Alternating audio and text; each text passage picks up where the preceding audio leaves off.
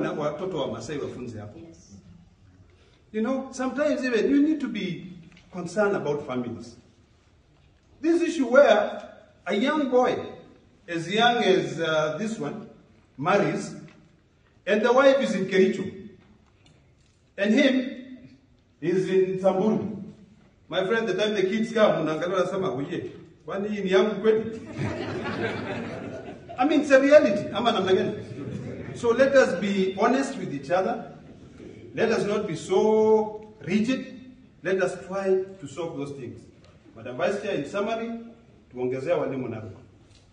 Ya pili, tafadhali consider classifying the whole of Narok County as a hardship area.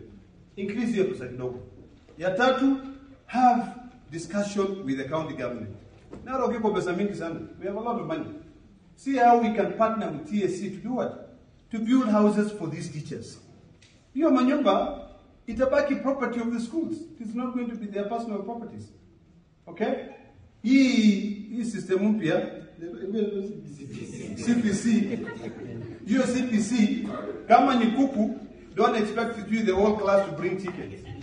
Peleka kuku moja, fanya demonstration like the way we used to do in uh, in uh, you know when we were going to school with my brother here.